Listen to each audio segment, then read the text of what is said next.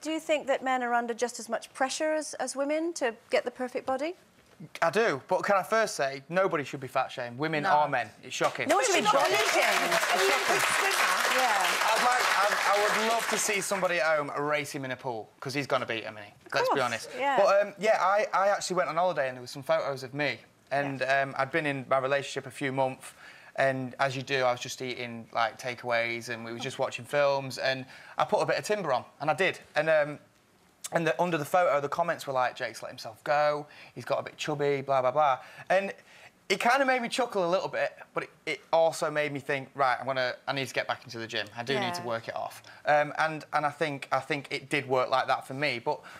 I just think it's horrible that people feel the need to do that because nobody's Yeah. perfect anyway. Do you know, so- it's, it's never mind fat shame, it's body shame. Yeah, yeah. It's Yeah. awful. It's Yeah. truly, See, truly the awful. awful thing about the Olympian is the fact that, irrespective of which country you come, Ethiopia, I think Mm. it comes from, you still have to qualify. You still have to swim at a certain speed, and I think it's terrible. And some of the comments in the paper today are really shocking. And he feels embarrassed. He he says, "I'm because he's lost six stone already Yeah. in order to qualify. So that's some achievement, Yeah. really." They- They they should be like celebrating, that he's lost Yeah. that weight Yeah. and he's actually in the Olympics. I think it's disgusting. I Oh, think there's going to be a new Eddie the Eagle film made about him. I think his story. Have you ever stopped going to the gym, Jake, for any reason? Um, I've always been sporty. Um, I've always loved playing football. Um, my dad was really into sports, boxing and stuff. So for me, I was always kind of involved in sport. It wasn't just the gym; it was everything.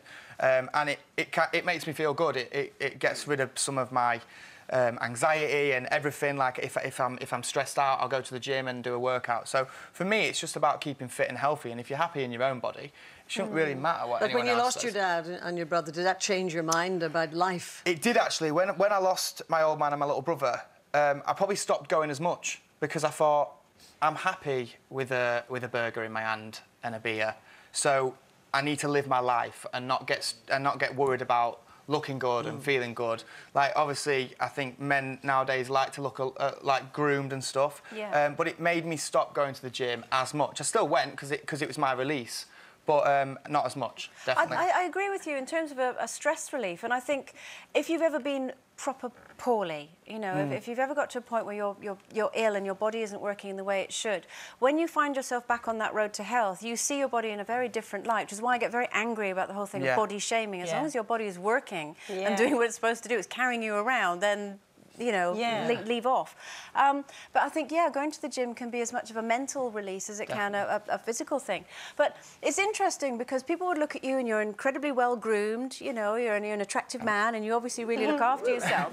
Um, but that's become, I think, more and more of a common thing rather than just celebrities and people we see in the, in the public eye. There's, there's a thing now that apparently it's called um, being a, a spornosexual. Have you heard about this? No. Which Apparently, means it's, what? it, well, it, it's quite interesting. Basically, it's it's a mixture of the two words sports star and porn star, and it was um, it was coined by as a media commentator, a man called Mark Simpson, and basically he was talking about the rise in men going to the gym, primarily for for their appearance rather than the health and hmm. men- mental and physical health that we were talking about. Because they they'd lost their self-esteem because of the financial crisis and they felt that their self-worth before had been based on their job. Now it's based on how they look. Right. do you see this? Yeah, I definitely think that any form of exercise, gym, outdoor, whatever you're going to do, should be well, not should be, but is I see it more used as a tool to like really get things off your chest, focus on something. Like I think about Joe and I, and when he's not working, or if, if you know what it's like, sometimes you go weeks, months without doing anything. If you don't have something regular, a pattern, something to get up for and go to, I mm. think it becomes quite.